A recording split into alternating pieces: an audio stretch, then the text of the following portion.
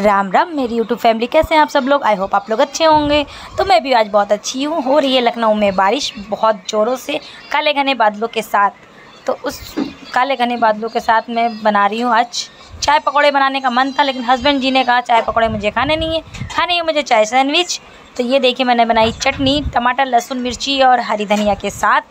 तो मैंने कहा, जब बना ही रही हूँ तो आप लोग से शेयर कर लेती हूँ। उस पर डाली मैंने नमक और हींग डालकर मैंने चटनी बना ली है। मेरी चटनी हो गई रेडी चटनी तो रेडी हो गई है। मैंने पनीर को कद्दूकस कर लिया है, प्याज को चॉप कर लिया है और इसमें डाला मैंने लाल मिर्च, भुना हुआ जीरा और नमक के साथ। और जो मैंने चटनी पीसी थी, उसका एक चम्मच मैंने डाला है। तो मेरा बैटर हो गया अच्छे से रेडी और ये रेसिपी आपको पसंद है तो प्लीज़ कमेंट शेयर और लाइक ज़रूर करिएगा। कमेंट करना मत भूलिएगा। तो ये देखिए मेरा सैंडविच हो गया है रेडी मैं इसमें डाल दूँगी।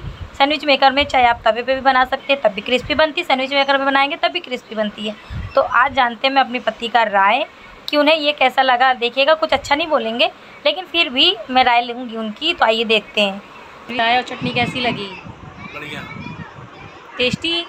नहीं? नहीं। अच्छा। मतलब खा रहे हो टेस्टी नहीं लगी? तो फिर क्यों खा रहे हो? बढ़िया लगा। खाली बढ़िया लगा? ऐसे पति होने चाहिए। ये था मेरे पति का रिएक्शन तो प्लीज़ कमेंट और लाइक कमेंट शेयर सब्सक्राइब ज़रूर करिएगा। तो आज के लिए बाय बाय